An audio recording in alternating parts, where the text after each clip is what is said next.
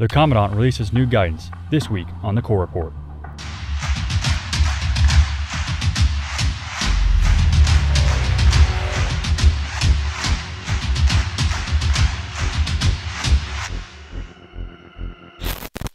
The F 35B Lightning II from 1st Marine Aircraft Wing began their first flight operations in Okinawa. The F 35 will operate out of Marine Corps Air Station Futenma and Kadena Air Base. February 6, Marines with 13th MEU had their opening ceremony for Exercise Iron Fist 2017. Marines will train in the Pacific Rim with their Japanese counterparts to improve combined capabilities. Military police with Marine Corps Air Station Miramar are the first in the Corps to use body cameras for their protection and evidence collection.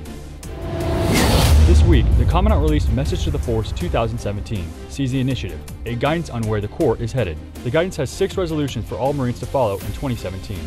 Improve readiness, modernize the force, sharpen the mind, take care of yourselves, protect what you've earned, and have more fun.